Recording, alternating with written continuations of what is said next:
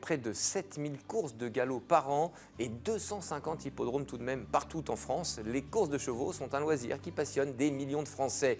Mais savez-vous que la météo a une influence à la fois sur le comportement du cheval et surtout sur le terrain sur lequel il va courir? Fred Maurice s'est mis en selle pour se plonger dans l'univers des courses hippiques.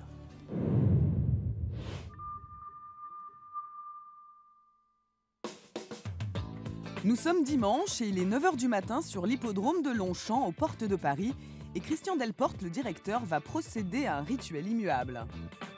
On soulève le poids et on lâche. Voilà, donc 4 cm. Il est en train de mesurer la qualité du terrain avec cet appareil, un pénétromètre. Une qualité qui dépend essentiellement de la météo. Plus la piste est humide, plus le terrain sera lourd. Et à l'inverse, plus il y a de soleil, plus il sera léger. Et aujourd'hui, elle est comment la piste? Donc aujourd'hui, on a terrain collant, on l'affiche. Vous voyez, on l'affiche sur le, le panneau. Collant, c'est-à-dire légèrement humide. Ces paramètres sont capitaux pour les courses et parfois la météo peut bouleverser tous les pronostics, comme ce fut le cas lors du dernier prix Qatar de l'Arc de Triomphe qui se courait ici à Longchamp. Une véritable même s'il a penché à droite au moment de prendre l'avantage. Attention, car Solemia se ressaisit. Attention, Christophe Soumillon, tu vas peut-être être battu, Christophe, car Olivier Pellier, formidable Olivier Pellier avec Solemia. Incroyable retournement de situation à l'arrivée de ce prix, le plus prestigieux du monde. C'était l'outsider Solemia, une jument française montée par le jockey français Olivier Pellier, qui était arrivée la première. Les jours précédents, des pluies abondantes avaient arrosé l'hippodrome, rendant le terrain lourd, un terrain idéal pour cette jument. Car, comme le dit le journaliste hippique José Coves, pour le cheval, le type de terrain c'est fondamental. Terrain lourd, terrain sec. Il y a des chevaux qui vont que dans le terrain lourd. C'est des chevaux qui courent euh, en fin de saison quand les pluies sont là. Et il y en a d'autres qui courent que l'été parce que les terrains sont secs. Mais attention, un terrain trop sec n'est pas forcément très bon pour les chevaux et leurs articulations. D'ailleurs, un terrain sec et gelé est l'une des rares raisons d'annulation d'une course. Et du côté des jockeys, on a aussi ses préférences météo.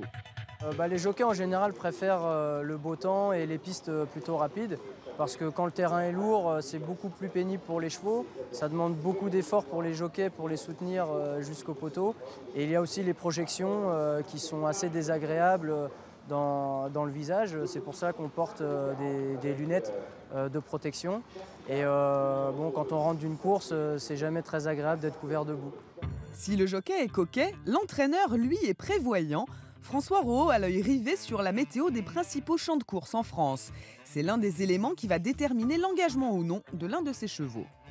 Un cheval est engagé 8 jours avant dans une course, mais on a jusqu'à 48 heures pour le- l'enlever ou le maintenir. Dire euh, on participe à l'épreuve ou pas. Et à 48 heures, on a quand même une météo très précise qui nous permet de, savoir comment va être le terrain, en tenant compte aussi des, des arrosages qui peuvent parfois être intempestifs euh, sur certains hippodromes. Et il n'y a pas que les terrains qu'on arrose en cas de grosse chaleur, les chevaux aussi ont droit à leur douche. Finalement, le temps idéal pour un cheval performant, c'est donc une température légèrement fraîche mais pas trop, du soleil mais sans grosse chaleur, une petite pluie mais pas d'averse. Bref, pour construire un pronostic, il faut être précis et méticuleux. C'est là tout le problème, énormément de paramètres euh, jouent pour un pronostic.